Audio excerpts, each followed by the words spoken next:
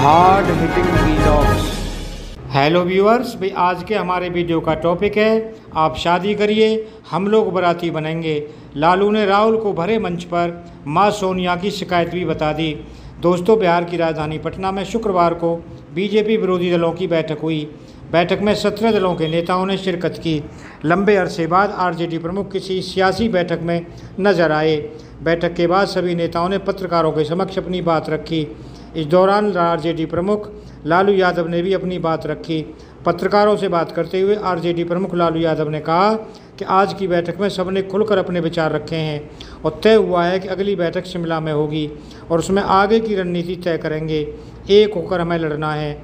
इस दौरान लालू यादव ने कहा कि अब मैं पूरी तरह से फिट हूँ और अब मोदी जी को भी पूरी तरह फिट कर देना है। इस दौरान लालू यादव मज़ाक के अंदाज में राहुल गांधी को शादी करने की सलाह दे डाली। लालू यादव बहुत दिनों से के बाद मूड में नज़र आए। अपने अंदाज में बात रख रहे थे।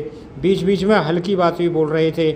आरजेडी सुप्रीमो लालू यादव ने कांग्रेस नेता राहुल गांधी से कहा कि समय नहीं बीता है, जल्दी शादी कर लीजिए। लालू यादव ने कहा कि राहुल गांधी शादी करेंगे तो वे लोग बारात में चलेंगे।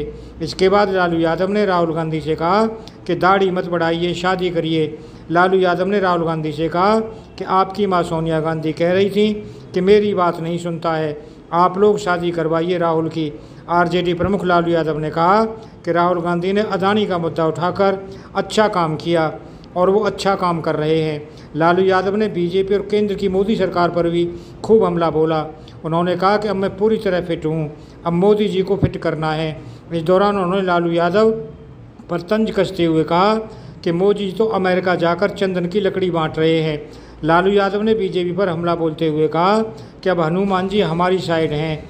बीजेपी कर्नाटक चुनाव में हनुमान जी के सहारे उतरी थी, लेकिन हनुमान जी ने उन्हें हरा दिया। मज़ाक के अंदाज में लालू ने कहा कि हनुमान जी अब की बार हमारे साथ हो गए हैं। इस बार हनुमान जी उनसे नाराज़ हैं।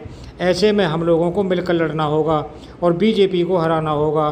दोस्तों, अगर आपको ये वीडियो पसंद आया हो तो चैनल को सब्सक्राइब करें, वीडियो को लाइक करें, ज़्यादा ज़्यादा शेयर करें। आप लोगों का बहुत बहुत धन्यवाद। Thank you very much.